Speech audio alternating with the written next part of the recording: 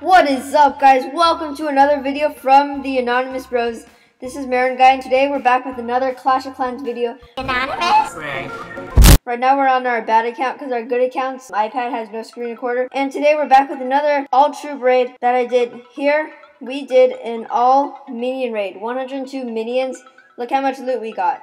So I'm just going to show you the replay and also the reason I did this all minion raid was because this was a minion event and instead of costing 7 elixir, I think, or 8, I don't remember, now it costs only 1 for me. So look, I got like basically a, a really big discount.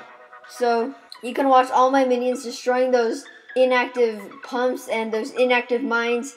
And look at that loot. Voice crack. Go at the side. Loot gain. Look at that.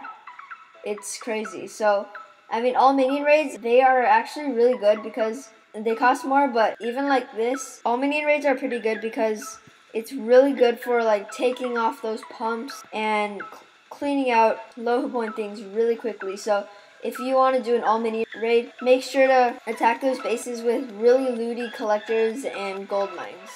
So that's that's all my advice for doing an all minion raid, and hopefully you enjoyed my all mini raid video. I know this is a really, really short video, but anyways, if you enjoyed, make sure to leave a like down below. And if you want to be one of the first ones to comment on our videos, make sure to subscribe and tap that magical bell.